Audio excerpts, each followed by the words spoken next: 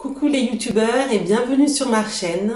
Alors avec mes vidéos et mon blog, je parle toujours des produits euh, maquillage et soins que j'achète. Et euh, aujourd'hui, j'ai décidé de faire le contraire et de vous parler de ces produits que je n'achète pas parce que je considère qu'ils ne me conviennent pas ou alors je ne les aime juste pas du tout. Donc on va commencer tout de suite. Je vais vous parler de 8 produits maquillage et le premier, euh, c'est le recourbe cils.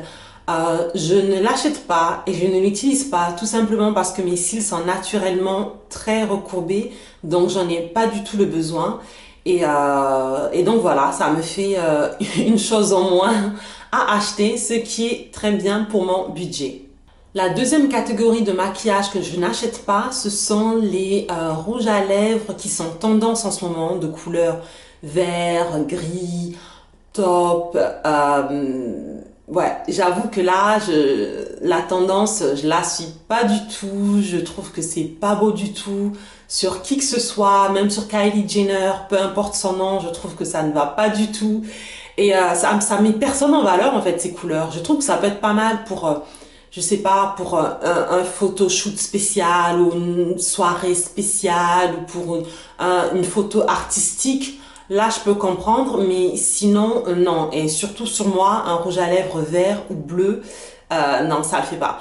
Si je dois dépenser mon argent pour du maquillage, il faut que ça me mette en valeur et pas le contraire. Donc ces rouges à lèvres, pour moi, c'est pas pour moi. L'autre catégorie de maquillage que je n'achète pas, ce sont les rouges à lèvres mat. Parce que mes lèvres sont très sèches, desséchées, déshydratées, quelle que soit la période de l'année. Et euh, les baumes à lèvres ont du mal à hydrater mes lèvres. Alors, euh, utiliser un rouge à lèvres mat, c'est juste la catastrophe. Ça fait pas beau du tout sur moi. Maintenant, j'en vois sur d'autres filles, je trouve que ça fait super joli, mais j'en vois aussi sur d'autres qui, comme moi, ont les lèvres sèches et qui feraient mieux de ne pas euh, les utiliser. Donc euh, voilà pourquoi je ne les utilise pas, même si je trouve ça très beau sur, euh, sur certaines. Ce que je n'achète pas non plus, ce sont les vernis gel longue tenue. Alors, je ne les achète pas parce que même si l'avantage de ces produits, c'est que votre vernis dure plus longtemps, en même temps, le désavantage pour moi, c'est que votre vernis dure plus longtemps. Donc au final, vous avez du vernis sur vos ongles pendant une longue période. Et un vernis, ce n'est pas un soin. Euh, donc moi, j'aime les vernis, ok, mais j'aime aussi les enlever. Je n'aime pas le fait que ça puisse tenir aussi longtemps sur les ongles. Pour moi, c'est la meilleure façon de, de les abîmer. Et je sais qu'avoir un vernis classique euh, longtemps sur mes ongles, ça les abîme. Donc c'est vraiment un produit que je n'achèterai pas. Je peux comprendre pour une occasion spéciale si vous partez en vacances, mais en utiliser de façon régulière, pour moi c'est juste pas possible. Il y a aussi les faux ongles que je n'achète jamais parce que euh, c'est un peu pareil en fait. Mettre des faux ongles sur vos ongles de façon régulière, pour moi, encore une fois, c'est la meilleure façon d'abîmer vos propres ongles. Euh, et euh, je n'aime pas non plus les, les, les, ongles super pointus qui sont à la mode en ce moment, les, euh, les, les différents motifs qu'on peut, un peu bizarres qu'on peut faire sur les ongles. Euh, autant j'adore les vernis à ongles, les différentes couleurs, mais autant les le côté artistique et les faux angles et les angles pointus et de forme un peu bizarre, j'adhère pas du tout. Je trouve que c'est pas du tout moderne. Maintenant, je peux comprendre que certaines personnes qui ont des ongles abîmés euh, se tournent vers les, les faux angles. Mais en même temps, en utilisant des faux ongles, ça va sûrement pas régler le problème de vos ongles abîmés. Mais bon, ça, ce n'est que mon avis. Donc oui, les faux ongles, j'en ai jamais acheté et euh, pour une occasion spéciale, je peux comprendre qu'on en utilise. Mais étant donné que j'adore mes ongles, j'en prends bien soin et ils sont pas mal, je pense que j'en achèterai jamais. Le produit maquillage que je n'achète jamais non plus, ce sont les fossiles. Euh, je trouve que trop de fossiles tue le cil. Euh, je veux dire par là que surtout les, les fossiles qui sont très épais, je trouve que on voit que c'est des fossiles et en plus sur certaines ça leur alourdit vachement le regard. Euh, donc moi, je, je, n'aime pas les fossiles, surtout ceux qui font pas du tout naturel.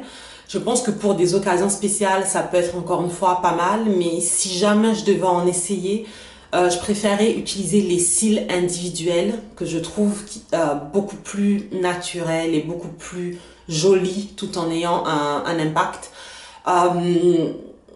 Après, moi, voilà. En même temps, comme je dis, je n'achète pas non plus parce que avec un mascara, j'ai un assez bon résultat avec mes cils. Et euh, voilà. Mais au quotidien, les fossiles, je trouve que ça se voit. Donc, euh, je me dis, si vous devez acheter des fossiles, faites au moins en sorte que ça ne se voit pas, ça fera plus joli. Mais bon, ce n'est que mon avis. Encore une fois, je ne suis pas là pour juger.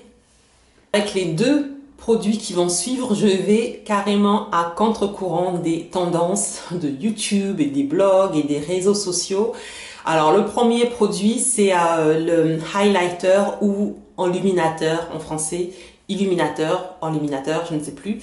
Euh, oui, j'en achète pas parce que euh, j'ai pas besoin d'en acheter en fait. J'ai une peau mixte, donc quel que soit le fond de teint que j'applique, au bout d'une demi-heure ou une heure, l'effet highlight, il vient naturellement.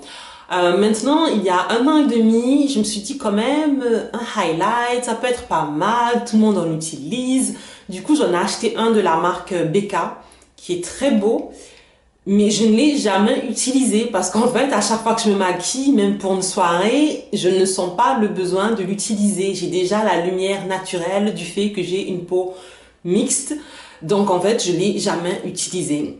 Et euh, le highlight, je trouve que c'est parti. Euh, c'est, euh, on en est arrivé à un point où c'est même plus du highlight quoi. Le but c'est d'illuminer, donc de mettre en avant une partie du visage.